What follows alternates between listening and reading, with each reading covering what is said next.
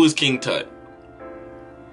You know, a lot of people that think of Egypt or anyone that thinks of Egypt, it's always King Tut. It's either King Tut or it's Ramses.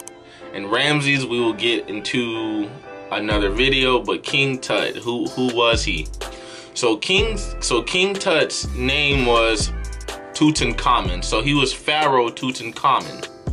And he was known as the boy king. And he took over at a young age because his father Akhenaten had passed away. Akhenaten ruled uh, ruled ended at 13 at 1332 BCE. And what makes King Tut such a um, prominent figure in Kemetic spiritual in in Egyptian history was that his tomb has to this date only been there's only been his tomb that has still stayed intact since he was originally originally mummified over 3000 years ago. All the gold and all the riches that were originally there when he was mummified is was still there. And it was excavated in 1922 by Howard Carter. He was the one that discovered uh, King King Tut's tomb now, King Tut, uh, he in history he did not have a a long rule, but he was able to restore a lot of the damage that his father had enacted onto the kingdom of Kemet. So his father Akhenaten was uh, was the first person in history to come up with monotheistic polytheism, which means that he only believed that there was only one God, and that was Aten. And Akhenaten actually actually tried and actually disbanded all of the 88 uh, 88 neters from upper and lower Kemet and he said that all these neters are fake we will only worship Aten. And we have to keep in mind that the 88 Neters, this, this, this was a well-established religion. Heka was, was, was well-established and Akhenaten tried to, uh, and he actually accomplished, he closed down all of the Neters, um, altars and and and holy grounds and things like that. And the people of Kemet did not and did not like that. And the crazy thing was that uh Tutankhamun's name or King Tut's original name was Tutankhaten and it was because Akhenaten had named his son after him.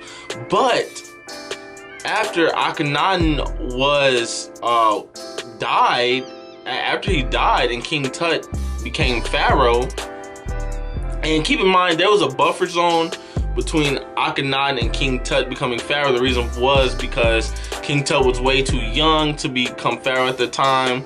There was two advisors that that took over briefly between Akhenaten and King Tut.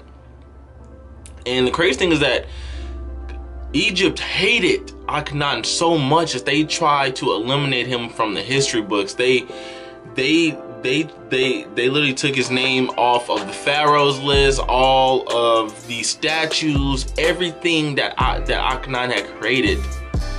They were just done. They did not want anything to do with him.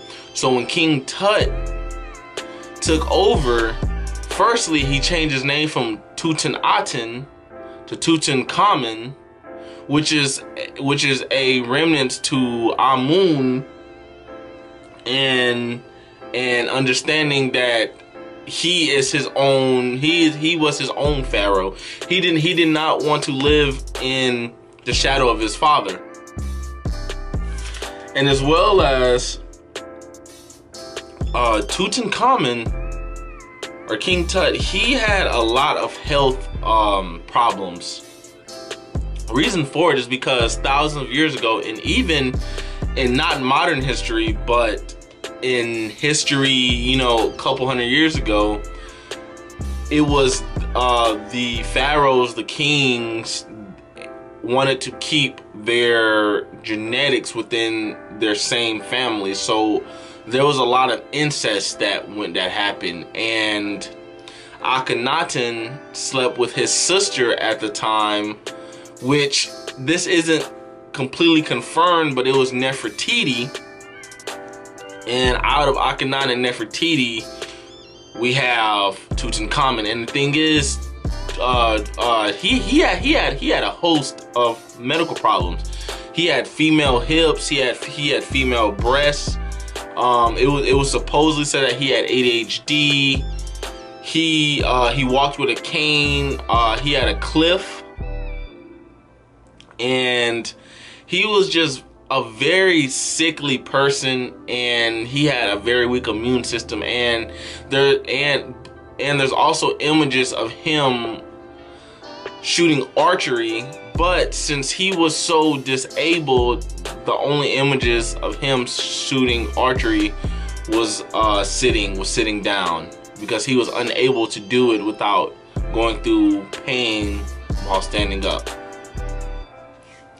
And as well as his death mask or his or, or, or his sarcophagus is so well known because it was so detailed it is it, it it is considered one of the most beautiful um um death masks ever found in history. And what the death mask is is the actual mask that is put over the pharaoh's head when he uh when when he is mummified and the crazy thing about King Tut was that after he passed, uh, after he passed away, he died at the young age of 19.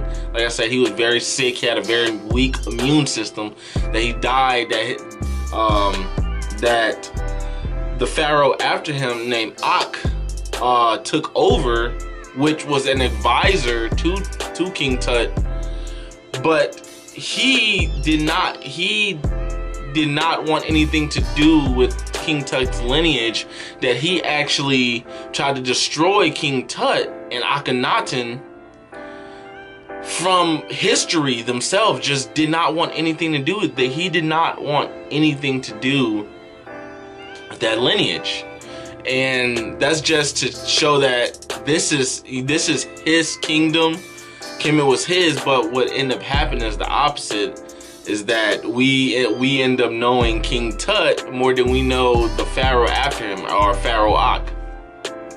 And as well as there's this thing called King Tut's curse. Now King Tut's curse is after Howard Carter discovered uh, King Tut's tomb, a lot of people around him that was there at the excavate at the est- excavation they they died in mysterious ways. And a lot of people consider it the curse of King Tut. And just unraveling all of that you know all of that Heka mysticism and rituals that were all set in that in that one tomb.